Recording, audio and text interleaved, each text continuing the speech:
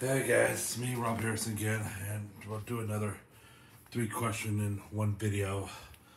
Okay, this time we'll do movie. You want to just do movies or certain movies? Or we'll do Disney movies, okay. Okay, we'll do Disney movies. Okay, first one. Um, what which movie did I like better? Did I like uh, Lion King one and a half or uh, Lion King two? Well, well, Lion King one and a half had humor.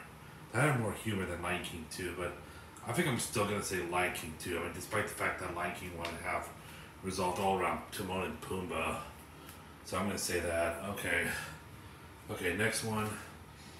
Okay, um, which okay, which Disney? Okay, which what about this one? Uh, Fox and Hound one or Fox and Hound two?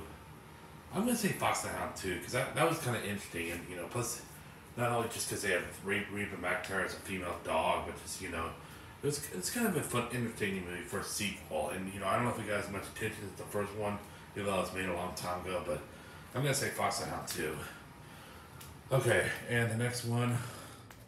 Um, do I like? Uh, let's see. Let me think. Let me think of one. Um, do I like uh, Light the movie Lightyear or? Uh, or original Toy Story one.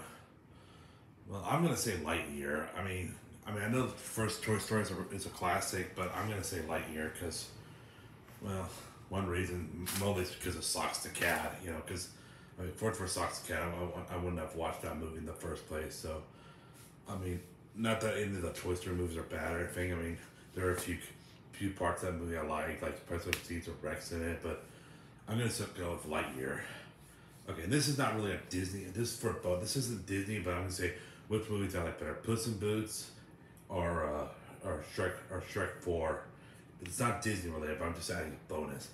I'm gonna say Puss in Boots. I mean, I'm gonna say Puss in Boots. You know, because it revolves around Puss in Boots, and you know, and and the only thing really thing I like about Shrek Four is that is the part where it said part, part where Puss in Boots says, "Feed me if you dare."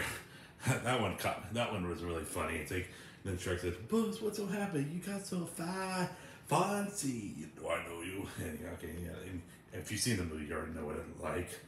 Okay, that's going to do it for today. Thank you.